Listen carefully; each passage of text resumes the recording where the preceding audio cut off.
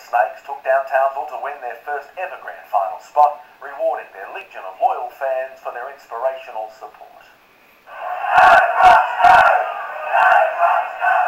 It's not easy being green when you're surrounded by an orange army. The greatest day in Cairns sporting history. The, the greatest day in the history of Cairns. Hundreds of Taipans fans made the trek to Townsville. Clocked up the frequent flyer miles. We've got about six planes going down with about 200 odd people overall. All the Cairns crew appeared confident. It's been a great day and Sky's good, Cairns is good, everything's good.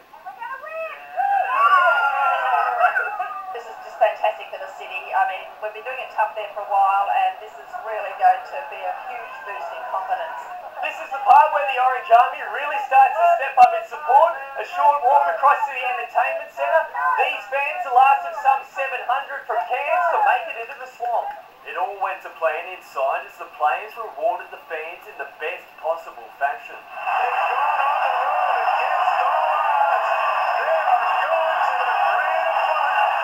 felt like we were the home team definitely. And they came and still support us now until we leave.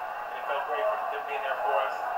The partners were just as excited. I'm proud, I'm proud, girlfriend. I'm 45, I'm proud. I'm not going to sugarcoat it, I'm proud.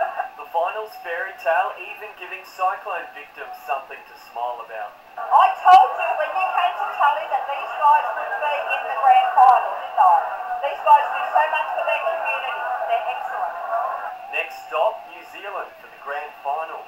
They're a really good team, so talented, but I think we can beat them. Adam Jackson, WIN News. All right, now the grand final is a best of three.